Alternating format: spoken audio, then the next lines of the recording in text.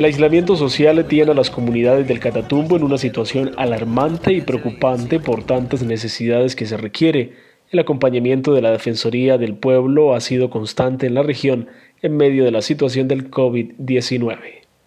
Hemos hablado con los alcaldes, hemos estado en reunión, en comunicación permanente con los alcaldes, con la gobernación, con el señor gobernador, en el sentido de que estos puntos de control que han sido establecidos por la comunidad eh, eh, tengan una presencia institucional también y que se armonicen, que se equilibren esas medidas, tanto comunitarias como con las medidas del orden institucional, con el fin de que esos controles eh, no vayan tampoco a afectar derechos de las demás personas.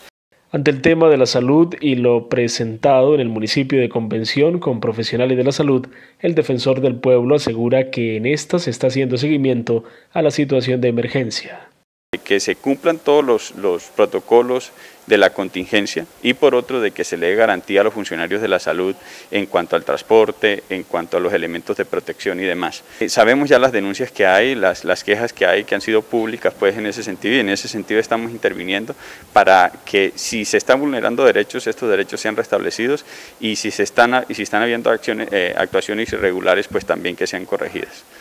Teniendo en cuenta todas las denuncias que se han puesto en redes sociales, la Defensoría del Pueblo permanece de la mano de las comunidades para actuar en cada tema.